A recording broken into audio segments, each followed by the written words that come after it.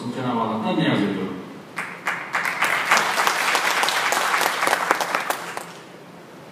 Tabii güzel şeyler konuşuldu. Hem teşkilatımızla ilgili hem belediyelerimizle ilgili sorunlar dile getirildi. Ben özellikle Balpınar Belediye Başkanımıza çok teşekkür ediyorum. Hiç para yokken birçok iş yapmış. Allah ondan razı olsun. Paraya ihtiyacı var çok iş yapmış. Zaten AK Partili belediye olmak bu. 40 tayinatlarla büyük iş yapmak. Ama tabii bu demek değil ki belediye başkanlarımıza destek çıkmayacağız. Elimize gelen desteği vermek için gayret sarf. Tabii belediye başkanımızın anlattığı konuşuyor, herkesin konuşuyor, kazanma diye e, ben şuraya dikkat çekmek istiyorum. Demek ki bir oyun bile teşkilat açısından önemi var. Bir oyun bile. O zaman teşkilat mensubu arkadaşlarımızın hem daha çok oyumuzu artırma adına gayret sarf gerekiyor hem de sandık başında oylara sahip çıkmaları gerekiyor. Dolayısıyla e, bu vurguyu da özellikle yapmak istedim. Değerli arkadaşlar,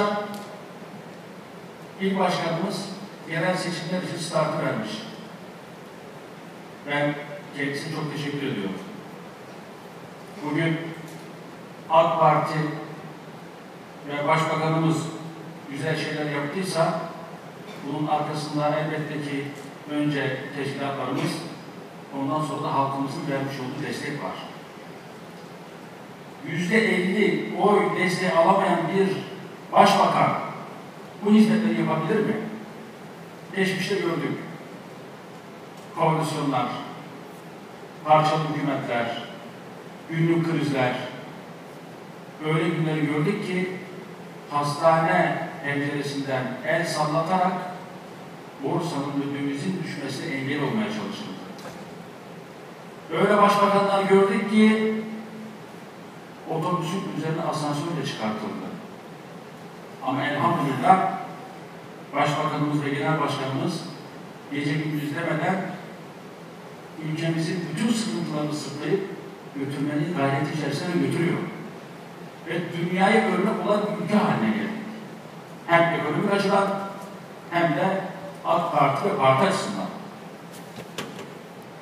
Bizlere çok görev düşüyor özellikle bu Güneydoğu bölgesinde. Çünkü Milli Birlik ve Kardeşlik Projesi'nin temel unsurları sizlersiniz. Eğer sizler bu konuda gayret sarf ederseniz, çalışma yaparsanız, kapı kapı gezerseniz, inanıyorum ki bu bölgedeki birçok sıkıntıyı aşacağız biz. Ama bakın sizlere çok görev düşüyor. Bugün batıdaki bir ilçe yönetim kurulu üyesinin ne düşen sorumluluk birse size düşen sorumluluk beştir değerli arkadaşlar. Elbette ki bu bölgede siyaset belki biraz daha zor. Ama biz zoru başarmak kolaydır, mühim olan imkansız başarmaktır diye bir partiyiz. İnşallah birlik ve beraberlik içerisinde imkansız dahi başaracağız. Geçmişte bunu çünkü başardık. Peki ne yapmamız lazım? Önce teşkilat olarak çalışmamız lazım arkadaşlar. Bakın, ilçe kongrelerimizi tamamladık. İl kongremizi tamamladık. Artık teşkilatlarımız seçim startını verdiler il başkanımız. Şimdi ne yapacağız? İlçe başkanımızın da merkez ilçe başkanımızın ifade ettiği gibi önce mahalle yönetimlerini tam oluşturacağız. Arkasında bu mahalle yönetimleri sandık yönetim kurumları oluşturacak. Bu önemli bir konu. Yani biz ilçe teşkilatı olarak e, 15-20 kişi, 25 kişi çalışarak bir yerde başarılı olamayız. Bütün e, mahalleleri sandıkla harekete geçirmemiz lazım. Ancak başarı böyle gelecektir. Ne zaman ki bütün sandıklar artık sandık danışma meclis toplantısı yapar hale geldi. Bak şimdi ilan suresi yapıyoruz değil mi? Şimdi mahalleler toplantı yapar hale gelecek kendi içerisinde. Köy ve mahalleler. Daha sonra kurduğumuz sandık yönetimleri bu toplantıları yapar hale gelecek. Bakın Batman'ın bütün her hangi ilçede kaç sandık var, nerede ne kadar var, elinde dosyalar var. Bakın bunlar çalıştığı zaman biz Batman'da belki bir ayda 7-800 toplantı yapmış olacağız. Değişik kademelerde. Değerli arkadaşlar, böyle bir çalışma olursa biz buradan seçimleri kaybeder miyiz? Mümkün mü yani? Ve şimdiden başlayalım biz. Eğer biz iki yıl içinde adım atmazsak, bu iki yıl içinde atacağımız adımları seçimin iki ay kala atamayız. Zaman daralır. Ancak insanlara belki karşıdan selam verebiliriz. O açıdan bir başkanımız biliyor, Ekrem Bey şunu söyledi. Bir başkanlık toplantımızda bugüne kadar teşkilatlarla ilgilendik. Artık bundan sonra teşkilat çalışmaları başlıyor. Teşkilat çalışmaları. Herkes kendi görevini bilecek. Tabi bu arada kongre döneminde teşkilatlarımız ufak tefek sıkıntılar yaşanabilir. Yani ben bildiğim için söylemiyorum. Genelde ben bazen böyle konuşma yapınca diyorlar ki ya sabah bu öğrenmişti gelmiş. Yok öyle bir şey değil. Genelde teşkilatlar birbirine benzer. Aynı sıkıntılar her yerde yaşanabilir. Sıkıntılar yaşanmış olabilir. Bazı arkadaşlar yönetime girmiş olabilir, girmemiş olabilir.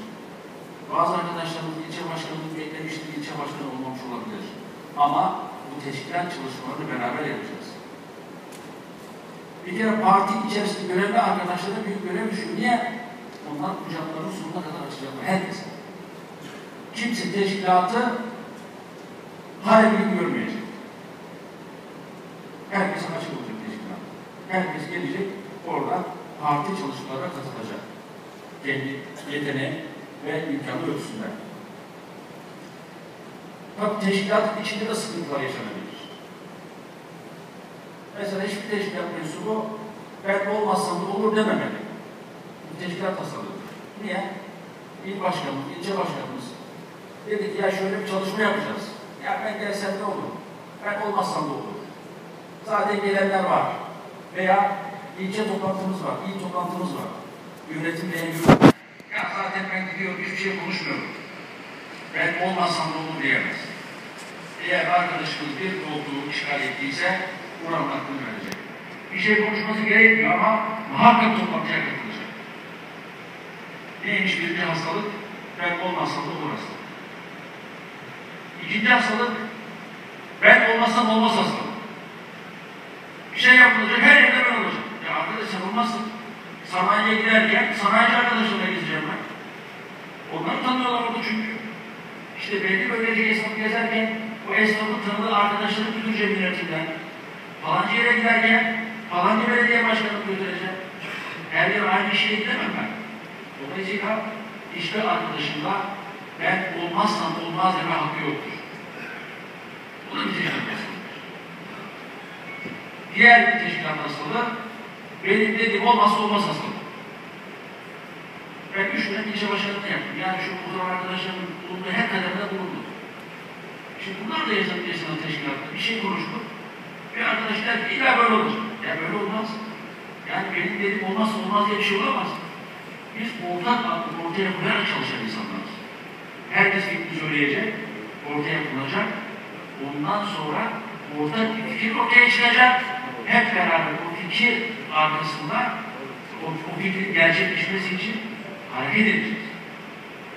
Yani teşkilat mensubu arkadaşlarımızın bu özellikle üç hastalıktan uzak durması lazım. Bir kere fitne ve uzak durmamız lazım arkadaşlar. Teşkilatları en çok sıkıntıya sokan dedikodudur. Şey söyledi, o ona söylemez. Kimse gidip e, dedikodunun sahibiyle konuşmaz. Bir şey yayılır. Sonra fitne çıkar, ona selam vermez, ona selam vermez. İşte ilde, ilçede toplantı yapılır, o bir taraf oturur, o bir taraf oturur. Arkadaşlar böyle şeylere müsaade etmeyeceğiz. AK Parti kimsenin babasının malı değil. Gelip partiyle çalışıp burada kalır, çalışmaya çıkar gider ya. Ben bunu İzmir ilçe başkanı, ilçe başkanlarına söyledim. Kongreleri orada tamamladım. 14 şey evvel. E, 30 ilçe var orada. İlçe başkanlarına. Dedim ki arkadaşlar, kendi ilçesini 2014'te kazanamayacağım diye ilçe başkanı varsa önce bakın herkesin de beyaz kağıtlar istifa. Çünkü kazanacağına inanmayan insanda çalışamaz. Önce inanacaksın. Ben bu seçimi kazanacağım. O inanç seni ハイレデリシルが間にしろ、天野さんが。